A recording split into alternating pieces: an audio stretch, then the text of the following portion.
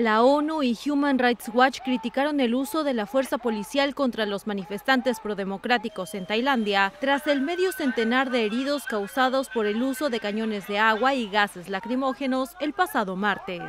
De acuerdo con la ONG Human Rights Watch, la policía usó la fuerza de manera innecesaria, lo que vulnera las normativas internacionales durante las manifestaciones lideradas por los estudiantes frente al Parlamento tailandés.